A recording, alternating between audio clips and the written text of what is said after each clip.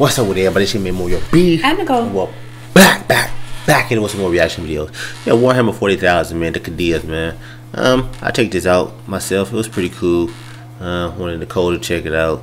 Um, these people in Warhammer, it's so much like information, so much like stuff in the so series. Hard to follow because it's there's hard so to follow. much in it. Yeah, it's going on at once, man. It's like Mm-hmm. so many different races.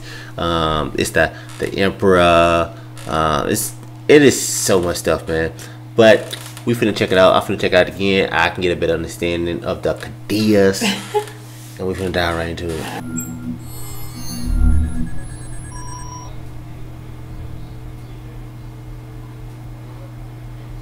In the region of imperial space designated Yeah, the Imperial, Segmentum yeah. Obscurus, there lies an anomaly that has come to be known as the Eye of Terror. It is an enormous rift, a permanent storm in the fabric of reality that for 11,000 years has provided a gateway to the nightmarish realm of the warp. Inside is a dimension of madness and despair, where skies weep blood, ancient stars burn in multicolored flares, and the whims of Can you the imagine just seeing something like that hold in the sky? sway. Since the time of the Horus Heresy, the forces of chaos that reside within have attempted to break out from the Eye of Terror and strike at the millions of worlds that lay beyond.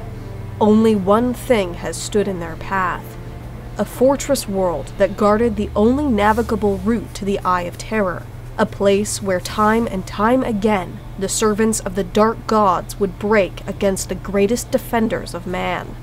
It was a planet known as Cadia, and it was here above all that the bloody work of the Okay, Imperium planet. was done. It's been catching A terrestrial world closely resembling Holy Terra Kinda before like Earth. the age of the I know. Imperium, Cadia was marked by great oceans, temperate plains, windswept moors, and towering mountains.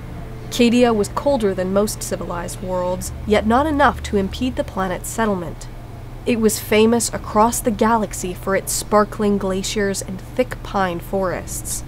It was the planet's network of strange black monoliths that remained Cadia's most enduring mystery, however, known across the galaxy as the Cadian Pylons.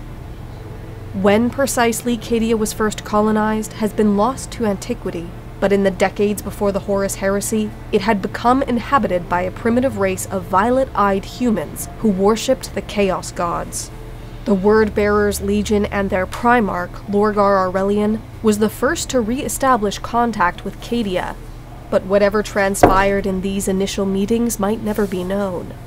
Lorgar ordered the cyclonic bombardment of the planet, wiping out the native Cadians Dang, and whatever boy, he just- they possessed. Yeah. This, this killed them. With the end of the Horus Heresy, the Word Bearers and their other traitor legions fled to the Eye of Terror to heal their wounds and nurture their hatred. Huh. Yeah. Black crusades mounted across the Bet galaxy from the. Eye of Terror convinced the Imperium that Cadia was of vital strategic importance, and settlers were sent to the world to claim it in the name of the Emperor. Mm.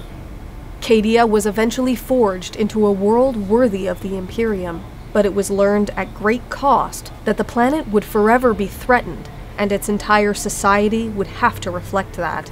Its earliest cities were constructed in the traditional style emulating Holy Terra, but the broad avenues and ordered urban grids favored any attacking force, and sweeping changes were enacted.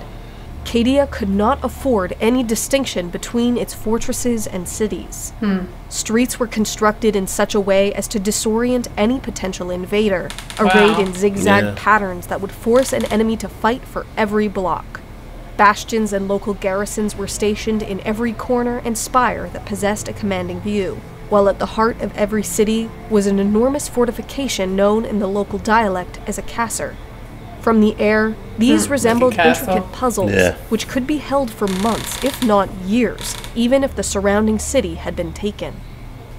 Its people were no different than its buildings, reorganized into a society wholly devoted to the defense of their world. Yeah. Every trying to defend the Cadian world. was taught the skills necessary to become a soldier from the moment they could walk. Dang, Practical since they was a kid. was prioritized Babies. above basic Yeah. literacy, and every citizen was required to serve at least a four-year term in the planet's military before either becoming a career soldier or instead joining Cadia's military-industrial complex. Even the wealthy and successful elite wore clothing reminiscent of the camouflage patterns issued to the lowliest guardsmen.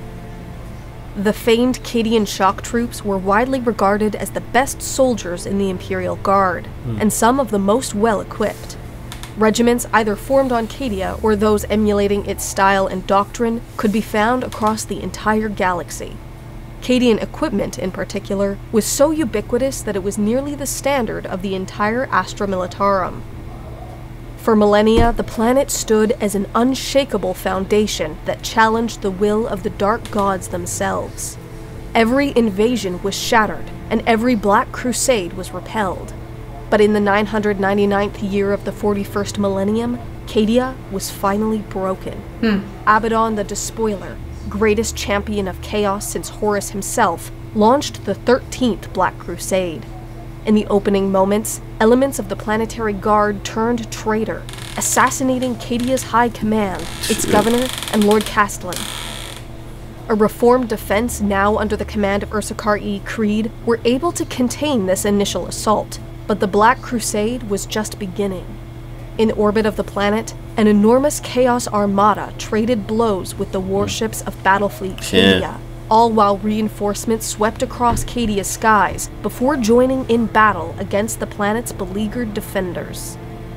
Mysteriously, it was not the famous fortress cities of Cadia that appeared to be Abaddon's primary target, but rather the large network of pylons, particularly those within the Elysian fields.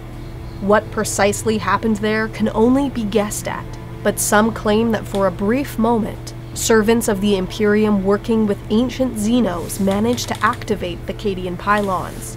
The forces of chaos were seemingly cut off from the warp, and even the Eye of Terror was said to shrink. Hmm. By the order of Abaddon, however, an enormous blackstone fortress struck Cadia with the force of an artificial meteor. The planet's continents were split Yeah. apart, That's its ancient forests burned away. Yeah, look at their planet. It's Yeah. blowing. managed Yeah. to Red. evacuate They the tore that planet world up. or witness not only to the destruction of Cadia, but to the expansion of the Eye of Terror across the hmm. entire galaxy. With the fall of Cadia, the forces of chaos had won a victory that for millennia had been almost unimaginable. Tendrils of the warp have split the galaxy in two, and there is little doubt that the Imperium has entered the time of ending. But the ultimate triumph of Abaddon the Despoiler still eludes him. The fall of Cadia has awakened something in the Imperium more powerful than even its greatest fortress. A hunger for retribution has swept across every hmm. world, hmm. and Cadia has become a martyr whose memory has spurred humanity to ever greater feats of valor. If a creature like Abaddon is still capable of experiencing even a tinge of fear, then he must be haunted by the fact that in destroying Cadia, he has added a trillion fallen saints to the highest pantheon Yeah, of the what made them martyrs. Well, he's For like, even as the planet split apart and its shattered remnants were consumed by the Eye of Terror, the red streaks of firing las guns could still be seen in the darkness. Defenders of Cadia refusing to give in, even as their world cracked and burned around them. Aw. Fight to the end, like the From Right. our sacrifice has arisen a new battle cry, one shouted in hatred from the Arctic steppes of Valhalla to the deadly jungles of Catachan. A simple phrase that ensures the memory of Cadia will remain for as long as humanity endures. The planet broke before the guard. Hmm.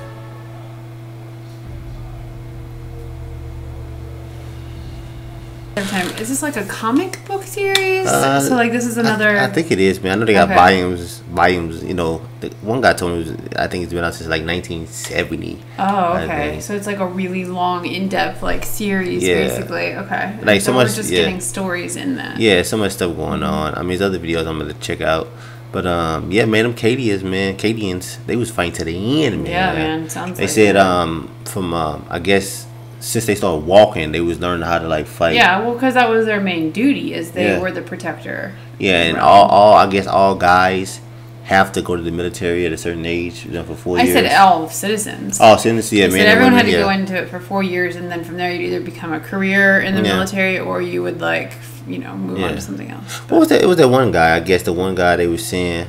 I think you was you was trying to talk about him while the video was going. No, I was. Oh, yeah, I'm Well, cause sure. it said like you know, end? well, I guess the former yeah thing. I guess the um other Ca- uh, Cadians that died, I guess they became martyrs and stuff. Yeah, like. I was just saying. Really, what happens is that they end up. It sounded like ended up uniting all the other planets too. Yeah. So versus just like having one planet at a time, you're going to end up fighting like a whole united tons of planets because Yeah. they're all now looking at Cadia as like martyrs and Yeah, yeah, looking at martyrs and stuff like that. they want revenge. Yeah, that's how it is, man. Mm-hmm. That's all it is, man. People they just want to fight, man. They just want to take over things. Um, I I always think about. They always say something about the emperor, but it's not the emperor. It's the um, The Imperial. imperial. Yeah, yeah. Yeah. imperial. The Imperial. Uh, they're not the army, but the Imperial are like the ones that govern all the Yeah, governing planets. planets. I That's, that's think. what I think. Yeah. Yeah. But I think I think I heard him. I think I heard him say something about the emperor before. They There said we do the name of the emperor or the imperium Yeah, or whatever. Remember, yeah. Yeah, man. So still a lot of stuff to soak so much in, figure man. out, It's yeah. a lot of stuff, man. Like somebody said in the comments, like, man, like I've been reading this since for 15 years, and there's still so much stuff I don't know about. Yeah, So I can only imagine. this is a lot of stuff, man. Yeah. Mm-hmm. But we definitely enjoyed it, man. I, re- I I would like to see like some animation of it. You know, that'd be even more dope. yeah. You know, like an actual cartoon, not cartoon, but like an actual rend like show. Yeah, render. versus- Yeah, rendition agree. of it. That'd be It'd be dope. easy to understand. But we definitely enjoyed it. Everybody great in this video. Mm-hmm. If you want to send us a special video request, check out the link to our Streamlabs. It's gonna be in our description. Description. Keep the video at 12 minutes Mm-hmm. and leave your video link. Don't forget to subscribe. Thumbs it up. Turn on notification. It's your man Mario B. And Nicole. Want to catch you on the next with the awesome. Peace and love.